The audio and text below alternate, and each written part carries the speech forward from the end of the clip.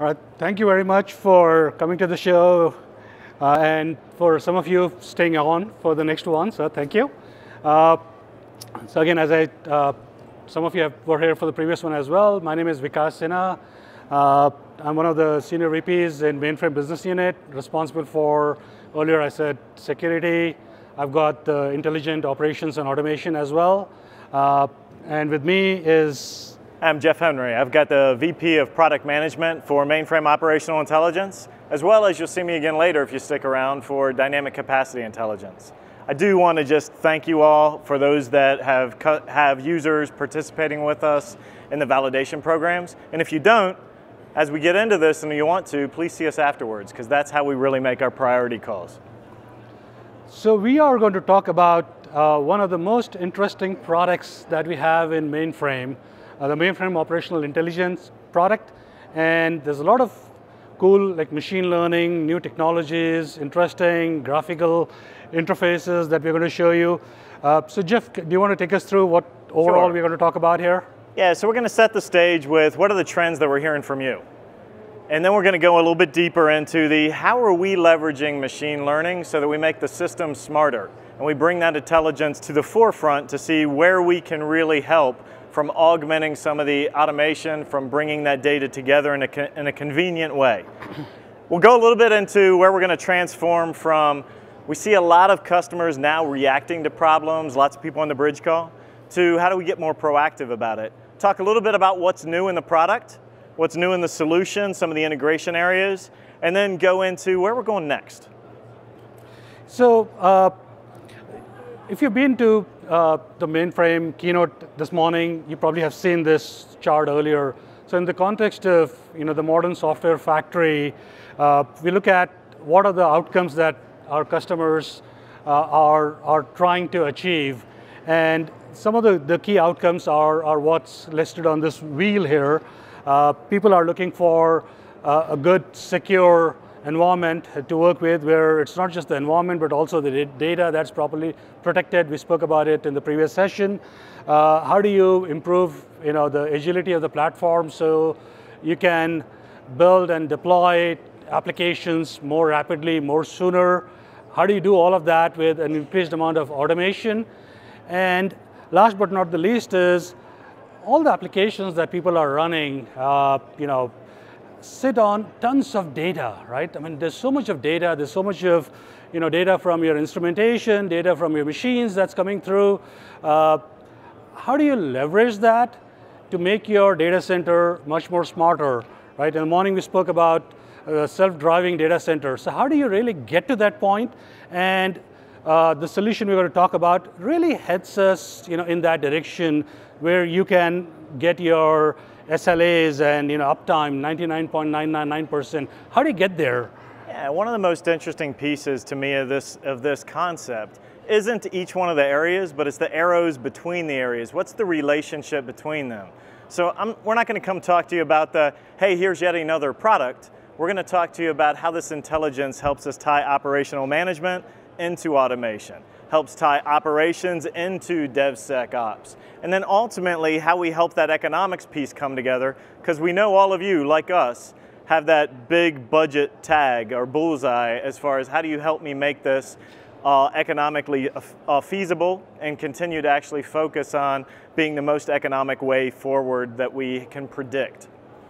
So a lot of companies, right, any IT company really dreads the unplanned outage, right? When the system goes down uh, and you haven't really planned that outage, right? In the morning, you know, again, uh, referring back to the, to the mainframe keynote, uh, Ashok was talking about uh, Visa, right? The last time they actually did an IPL or any kind of outage was like 20 some years ago, right? So how do you get to uh, that degree of assurance, right, in, in the system?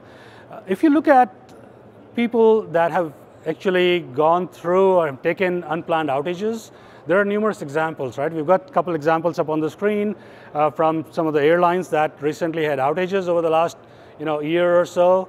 Uh, the amount of expenses that they have recovering out of those outages is huge. In addition to that, it's also you know, leaving behind a set of customers that are totally upset, right? I mean, their vacations are you know, destroyed in the process, their business trips are canceled. You, you really are result, you know, ending up with a lot of upset customers. Uh, you're paying back you know, money and fines for those outages, so there are revenue costs over there. Most importantly, there's an impact to your brand and reputation, and the, the whole trust that people are trying to build to, as they get towards a digital transformation takes a huge hit on, on, on getting that trust. And most importantly, we don't want to see that happen on Friday when we're all actually trying to travel home. So a lot of times when you try to translate what's that business outcome to what are we doing from an IT and from an infrastructure standpoint, we kind of get caught in the middle with the business looking at us as a necessary evil. That you guys are the reason that we actually came down. And there's a lot of scrambling behind the how do we make sure that we can show it's not our fault. And when we've done some of these CIO studies, we see buckets of needs, buckets of customer problem or pain points into two key areas. One is around how do you manage that downtime? How do you reduce the MTTR? Or really where we're trying to go with machine learning is more of a predictive time to resolution. How do we get ahead of it so it's not chasing it from a reactive standpoint? And obviously that ties back to the SLAs. Making that connection transparent is absolutely imperative. The second piece, and it's really hitting us even more from a mainframe standpoint, is skills. We've got a lot of people aging out of the market at this stage. We've got a lot of very difficult and complex skills over the past years. How do we make that simpler? How do we make that more transparent? How do we make that communication when we look at the team collaboration across distributed cloud and mainframe systems so that mainframe can be managed like any other platform? So it doesn't have to be unique until you're coming to the what unique advantages can it bring to, this, to your strategy. So when I look at how we're looking at the market trends, we take a maturity model approach, but I'm going to give one slight twist to it at the end.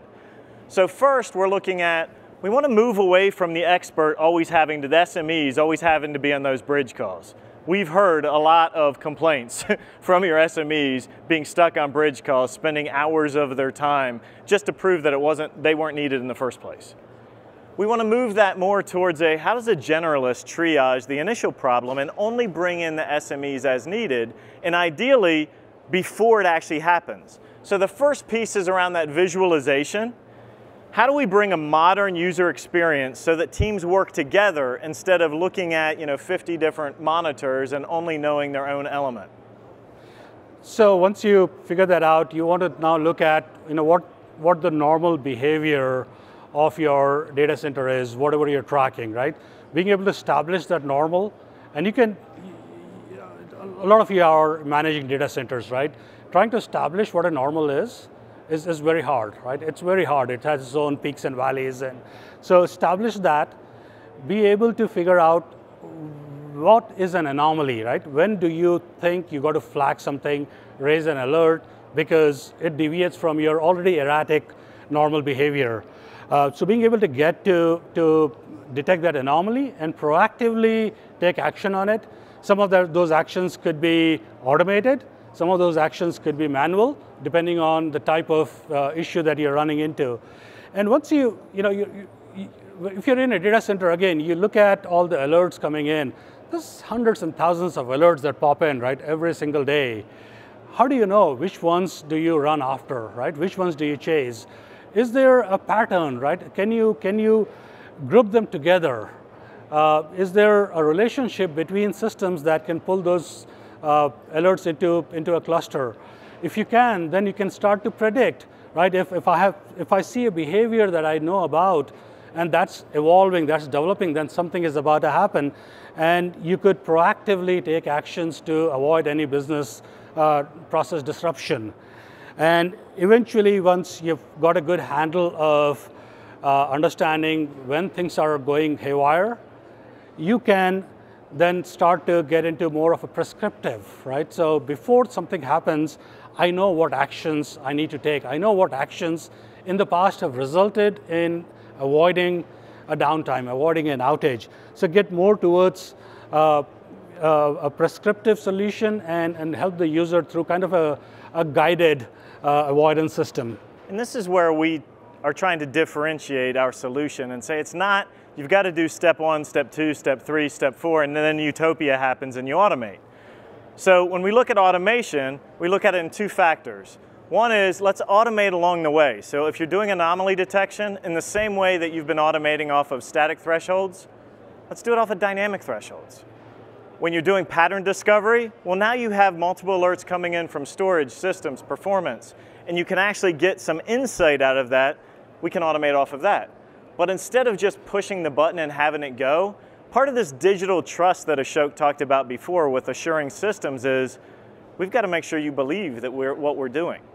So the prescriptive guidance that Vikas went into really comes down to let's make sure that we show you what's going on behind the scenes so that you can augment that with those SME skills to say, that pattern was really good and helped me, let's automate it moving forward.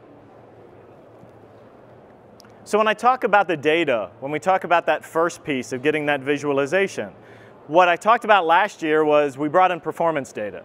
And we brought in performance data from our own systems, from SysView. That's what we knew best, that's what we could work with your teams on and make sure this really worked the way we expected it to work. Since then, we've been on quarterly iterations. We've brought network data in, storage data in. Now we have some of the application data and the database data in.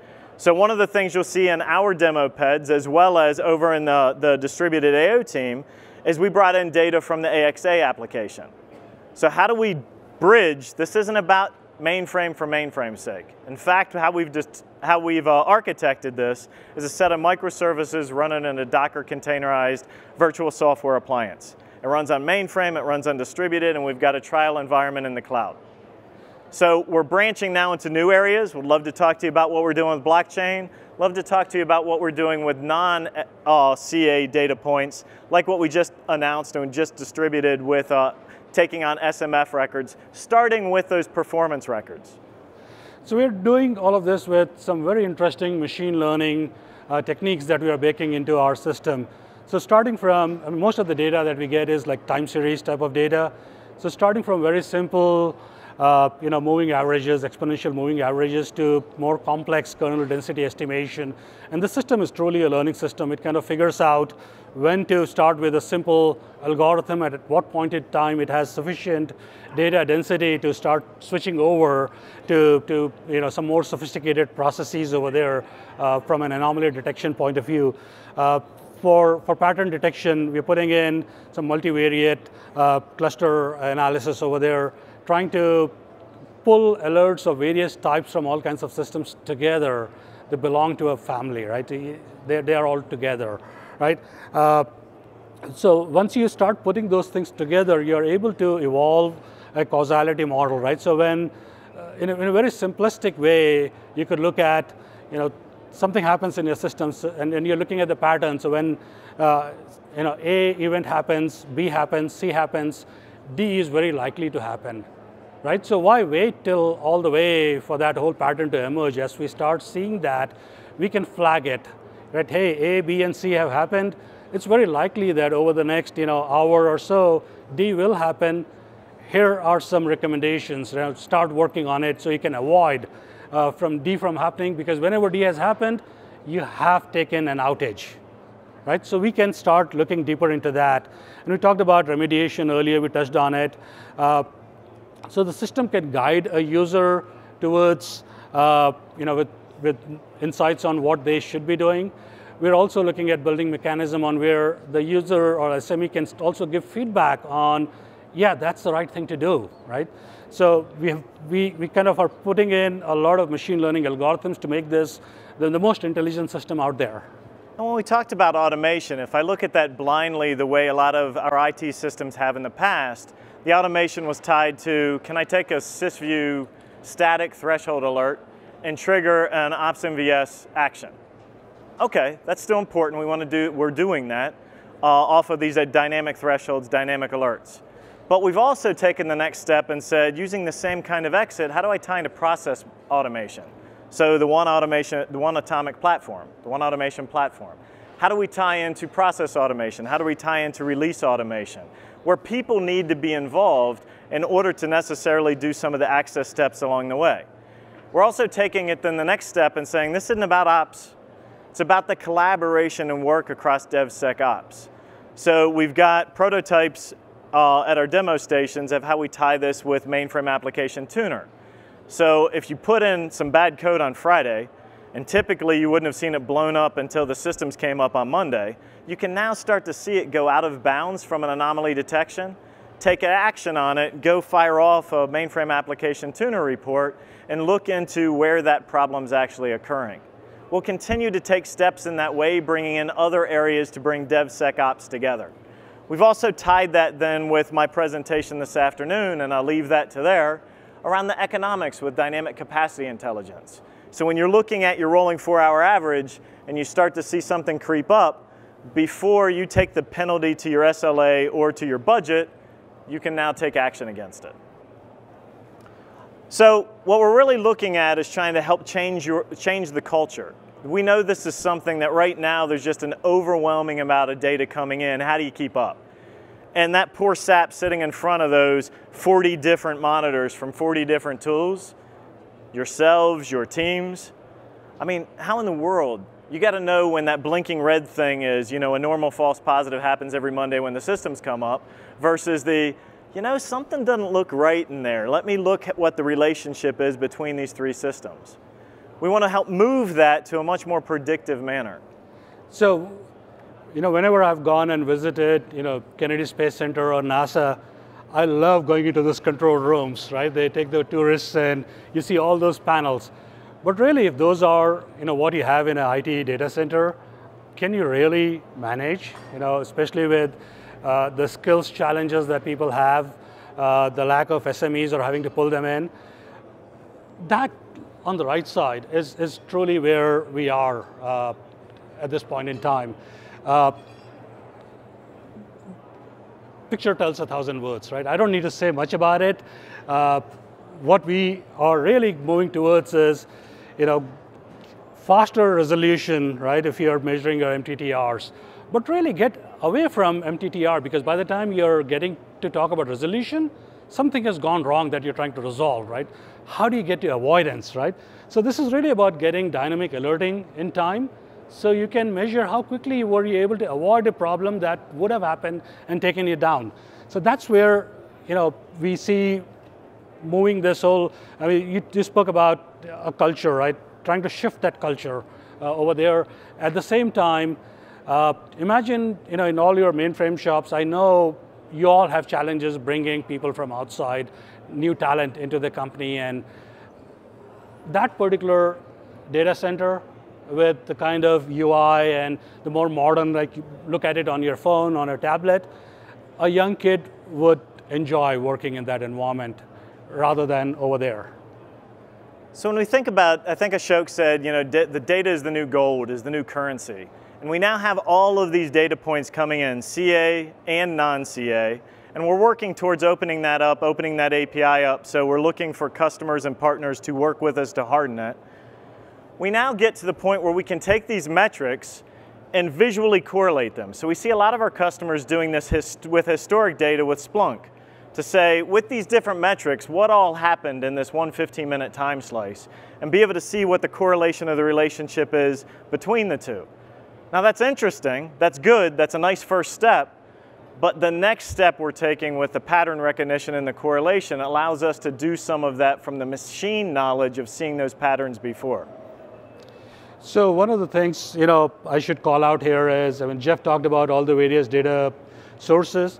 So all the CA products that we have for uh, you know, systems management, storage, network, uh, databases. So we are on a path to get all of those uh, added in here to, to be able to feed uh, data into the mainframe operational intelligence system. In addition to that, we heard from a lot of customers who said, you know what, for whatever reason, right, I don't use your, your performance management products. I have a product that's probably from your competition, or I have a homegrown solution. Allow me to feed in SMF records directly into the system. And so we now have a capability of introduce, uh, pulling in uh, SMF records directly into the system. In addition to that, we're also working on an open API Uh, in fact, we have it right now. We are using it internally. Uh, that can be used for developing adapters for additional data sources that might not be covered as a part of our other CA products. So that's an area where uh, we are soliciting and inviting customers to, to partner with us uh, to you know, bring in your scenarios into it and help us harden that open API. So if there's any interest, would love to talk about you know, getting you guys engaged on that. So when we, you know, that, that was a cool green highway back there, and I just wanted to spend a moment here uh, to, to talk about, you know, what, what goes on behind the scenes. So there is, there is some, you know, serious uh, math going on in trying to determine, you know, what's the normal, when do you figure out, you know, it's the, the event that's happening is, is either likely or should have been less likely or, you know what, it's really totally out of whack. Uh, how do you, how do you go and, and alert that, right? So the, the other piece that we also do here is, it's very typical in a data center to set up static uh, thresholds. So you can very easily say, you know, I can tolerate plus or minus 10% of whatever that metric is. But is that really true? There are times, you know, in your uh, uh, performance cycle, or the, the, if you look at the entire time series for the, through the year, there are times where you can tolerate you know, a, a, greater deviation, and there are times when you cannot tolerate, right? So how do you know what that tolerance level is? And so we are able to detect, uh, dynamically establish your thresholds based on the pattern of usage, determine you know, what, what your uh, tolerable variance is going to be through dynamic thresholds. Uh, and that's really it on this one, right? Yeah. So one of the things that we've been doing through our validation programs is say, you know, if all we do is use test data to validate machine learning algorithms, that doesn't really prove a whole lot. So without your data, without actually getting customers to participate with us, we can't prove that the algorithms are doing what they're supposed to do without a bigger sample size of data. So over the past two year, year and a half, we've been working with customers, getting their data, running it through there, and then playing it back to them. So one of these customers came to us a few months ago and they said, we had an outage last week, find it. Just kind of put us on our heels because we hadn't done that kind of validation before. We were able to find it in two to five minutes. They looked at the timestamp and it was two hours before anybody even called them to say there was an issue. Five hours before they had any idea where to go to look, figure out where to go with it. So that's the kind of response we're getting when people actually jump in and use this is it's just far more intuitive and they're not having to crawl around trying to find it in a reactive nature. So the green highway I spoke about in the previous chart, uh, that's a picture right in the center from our UI for this particular data set. And you can look at it, how simple and intuitive it is to see when something is really going out of whack there. Uh, it just makes it so easy, again, back to the skills back to requiring uh, the, the level of expertise, right? You don't really need that. It's, yep. it's so obvious. And another customer that you heard from earlier, Greg Payne with Southwest Gas, and it's one of those that you don't have to believe it from me. You know, talk to him and what he's been able to do with some of these things. So we got the five times faster. Obviously, we're going to market that everywhere we possibly can. But the key was, is it just becomes his junior assistant. So how do I get to some of these things in a more intuitive manner so that I can get the right people working on it and move on to the next optimization aspect? So let's get into what's, what's next. So we did the Green Highway last year. We dumped a whole lot of more data into it. So how are we getting into the next level of that pattern recognition?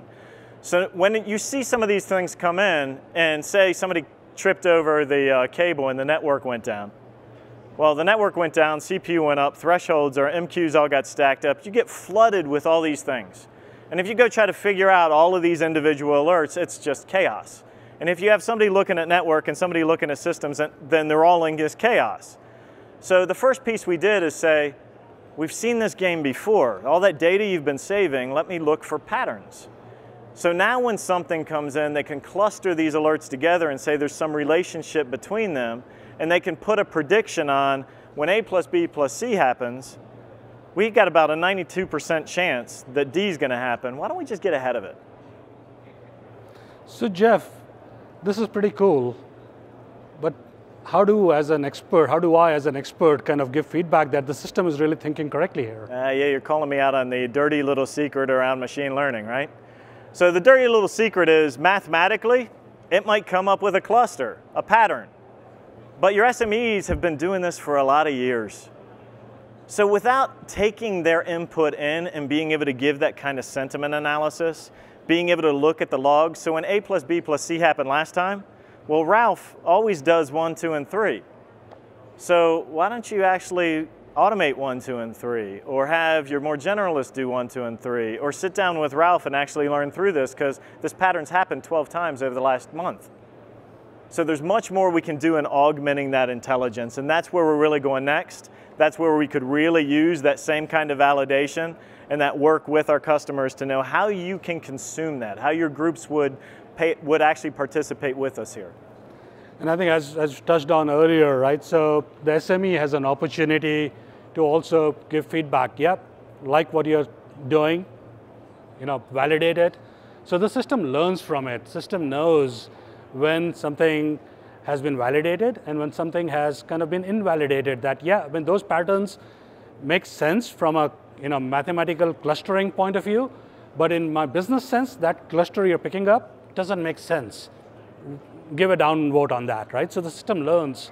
The next time it doesn't need to pick, pick on that one. So we talked through some of the automation pieces before. The key here is it's not just one thing at Utopia at the end of the, a maturity cycle. It's there are different ways to automate all along the way. So here, when you start seeing something obviously going out of whack in your green highway, that's not normal. So can you automate and get the simple stuff out of the way? If you have 15 CICS regions up and one looks sick, recycle it. If there were just two or there were some access rights associated with it, maybe you don't want to do that. You want to bring it into more of a process automation so that you get the right people to sign off before you do something. And that's really when you look at what we did from an Automic standpoint, we can tie directly into their process automation scheme as well. And a lot of things that, you know, we have shown integrations here with the mainframe application tuner, with Automic, with data uh, capacity intelligence, sorry. I'm like, uh, we've been using our internal open API that we spoke about earlier. So we are kind of exercising our own stuff in the process before we open it to our customers. Drinking our own champagne, right? Yeah. so again, we talked about this as data is king. I think we've covered this. The big thing here is asking you all to participate with us. We started with SMF 70s records because people said, I want to actually get started with you around performance. You guys know how many SMF records are out there? We could spend all our time just doing that. But we're opening up an SDK for our partners and our customers to extend them as well. So we want to understand where to go next. The open API, as Vikas said, we've been using specifically within our own teams. Our dynamic capacity intelligence guys got it going in two weeks. Our blockchain folks, it was a two week, one sprint uh, hackathon. So this isn't some of the months of work to actually get this up and running and try it. So the net of a lot of this comes back to the, you know, what were those IT outcomes or, or problems that we were trying to get across? What we've seen from the early validation customers is about a 40% shift in all of that SME work to a more generalist. Now these are early days. We need more support and more information from you to see whether that's really working or how to change that user experience. The two hours earlier, I mean, that was when we got challenged on it and you're looking at last week's or last month's data. It's a lot more powerful if you're actually seeing that in near real time.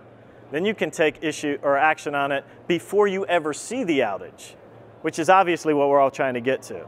And then five times faster, even if you just think of what your SMEs are doing and it takes them three hours today, a couple of minutes I mean, most of the frustration I hear back is why do I have to spend all my time doing this reactive stuff when most of the time it wasn't my problem? That's the shift we're trying to do culturally. So you heard Ashok talk this morning about mainframe as a service, right? So over here, uh, what we what you saw with mainframe operational intelligence, it's, it's, it's not something that we are doing in isolation. So we're really thinking of this as more of an intelligence as a service, right? Uh, there are other applications outside of the mainframe area that actually are using the uh, underlying framework that we created here. So if you look at the CS payment security system, and there's a whole bunch of others that are not GA yet, so I cannot openly talk about those, uh, but they have been leveraging what we have put here as an underlying uh, framework. And within our uh, scope that we are working on, we have been expanding to, to, bring in uh, other data sources. We talked about the mainframe uh, application tuner. We are working with the security guys. So those of you who were here for the previous uh, security conversation, I spoke about the user entity uh, behavior analytics. So we're trying to combine those uh, and, and bring, bring a use case uh, using the same mindset, same paradigm over here.